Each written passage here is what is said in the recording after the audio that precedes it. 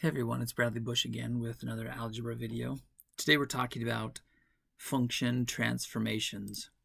And our to-do list, first off, we'll talk briefly about some of the common functions in algebra. In fact, we'll give you uh, a brief overview of the seven most common functions in algebra because that's where we're starting. That's the starting point for any of our transformation discussions. Then we'll do a brief overview of the transformations themselves We'll talk about the order in which you should do the transformations, and then we'll do a quick worked example. So I've also listed all of the parts and with timestamps on this video in the video description. So if you want to skip ahead to the worked example or another part of the video, you're more than welcome to. Let's get started. Here are the common graphs in algebra.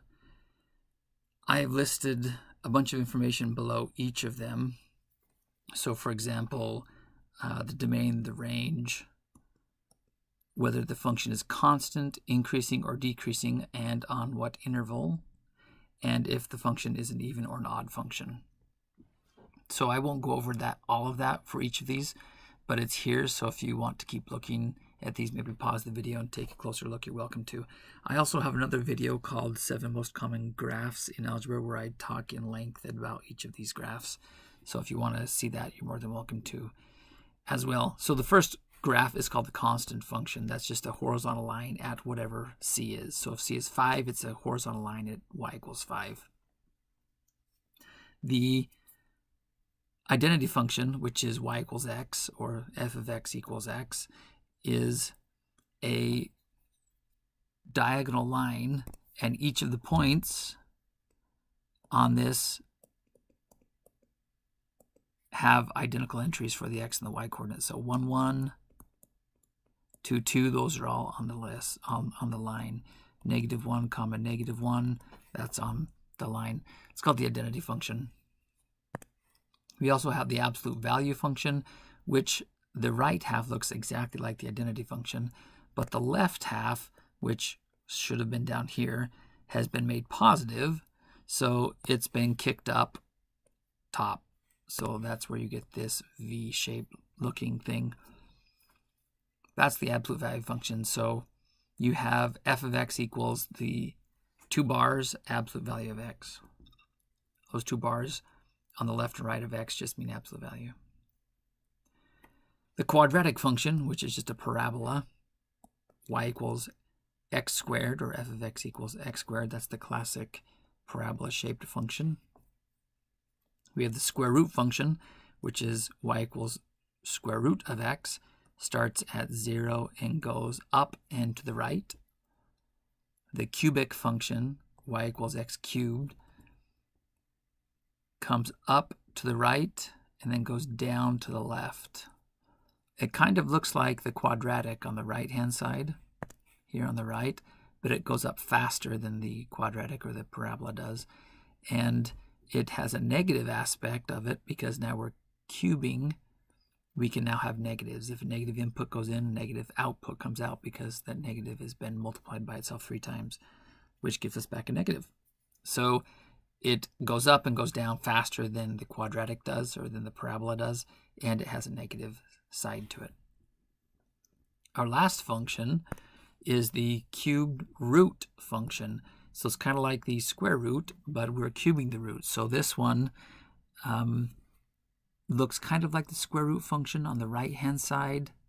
And on the left-hand side, it has something new because the square root doesn't have any left-hand side because it doesn't take negative inputs and does not have negative outputs. So it doesn't have this left side, but the cube root does.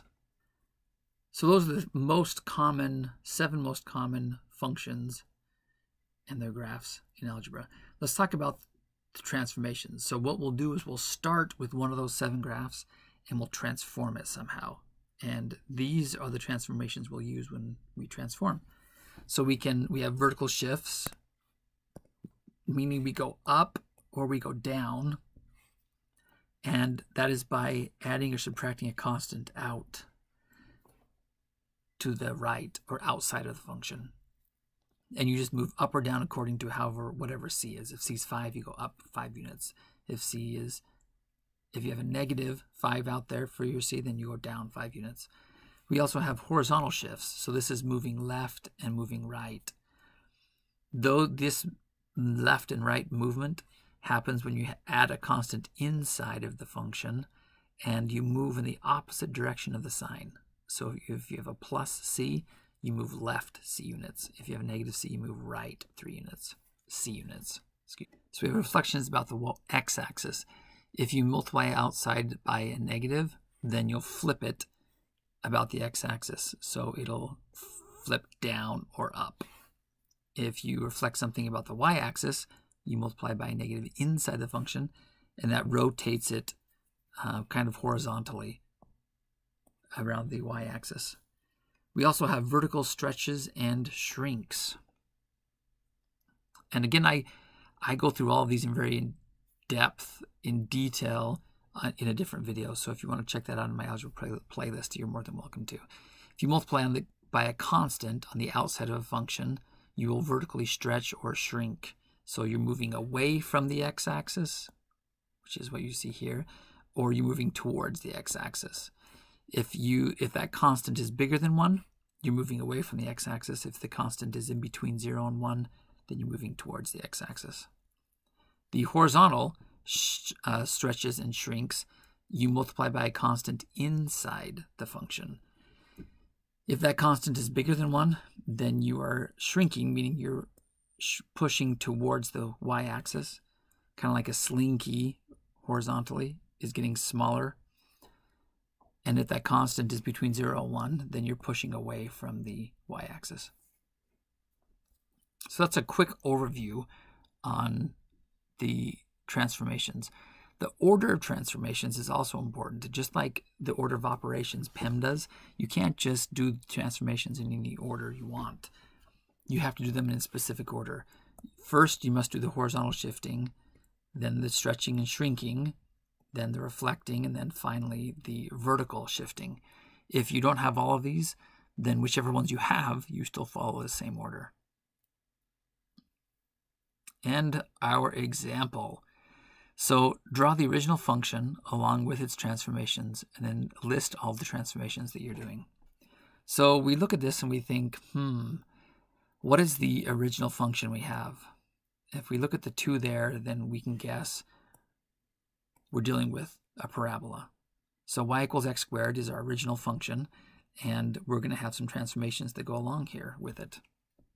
So our first thing that we have to do is we have to deal with the horizontal movement. That's the first thing we're doing.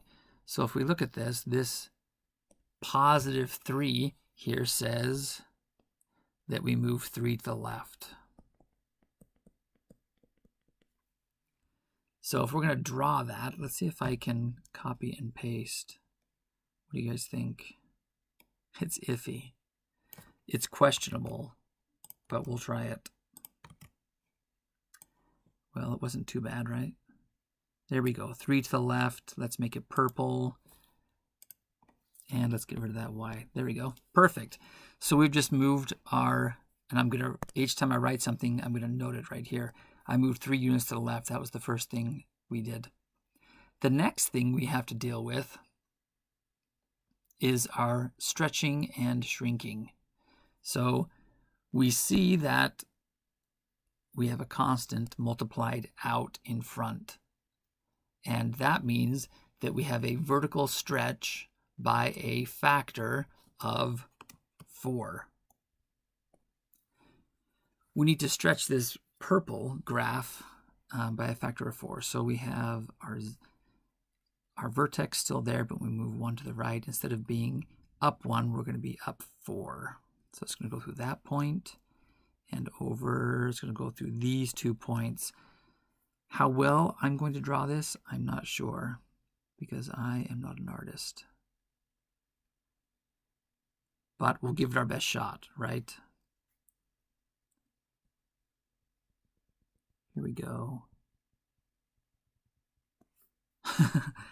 well, it's not perfect, but you get the picture. So it's being pushed away from x-axis. being pushed away four units higher than it should have been. Okay, so we, and then we list our transformation. We stretched it vertically by a factor of four. What's the next thing? The next thing we should be looking for is reflections. Do we see any reflections around here? Um, I do. Multiplying out front by negative. That reflects about the x-axis. I have to draw this again. So it's going through these three points. Should we see if I can do this? So it comes down.